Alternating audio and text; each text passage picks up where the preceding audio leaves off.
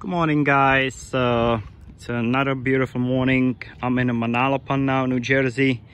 This owner actually has a nice uh, brick masonry built uh, mailbox, but uh, this this box is broken on him and uh, his mail flying all over the neighborhood, so he wanna change it. But there is issue. They're not making these anymore.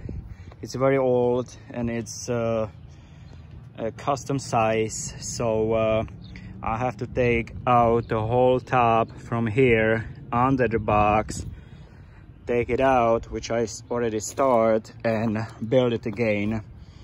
In order to do that I had to went uh, two big uh, brick suppliers. And it was difficult to find this brick but uh, I found it. They they have it but it's uh, as always mixed with different colors. So I, I had to take more.